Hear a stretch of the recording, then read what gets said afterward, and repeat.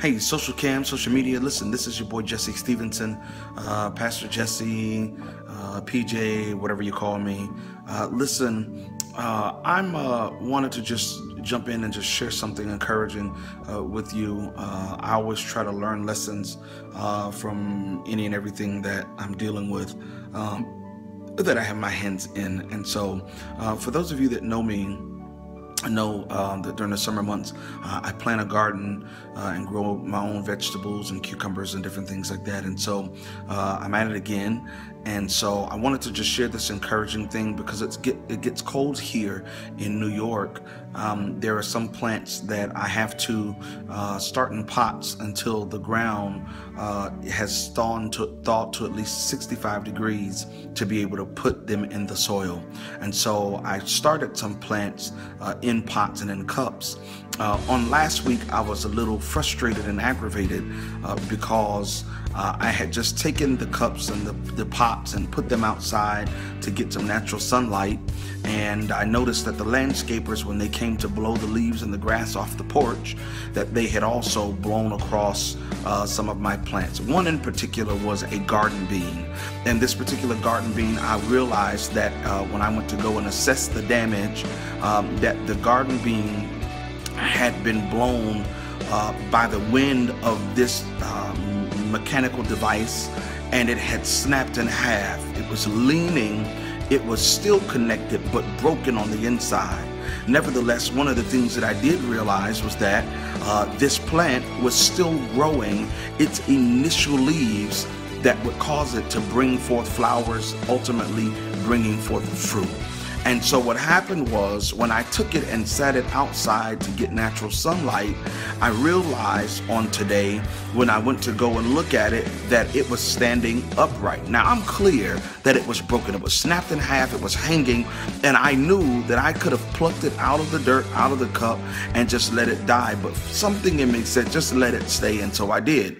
Went outside today to look at it only to realize that it was standing back up straight on its own. When I picked a cup up to look at it to see how it had done so, I realized several factors.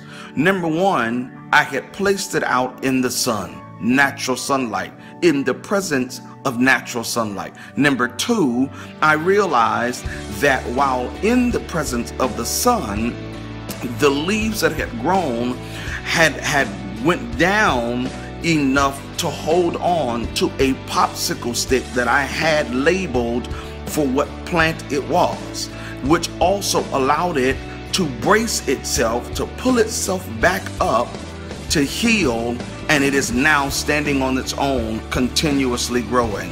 Hallelujah. I'm sorry I got happy. Uh, so, number one, I placed it in the presence of the sun. Number two, it was still growing. Number three, it had something to hold itself up. Number four, it self healed. Listen, I come to tell somebody who has been blown by a violent wind, wind of circumstances, wind of trouble, wind of finances, wind of pain, bad relationships, divorce, sexual molestation, uh, uh, you lost your job, whatever the circumstance of wind is in your life that blew you and caused you to break, there are certain several things that you should consider.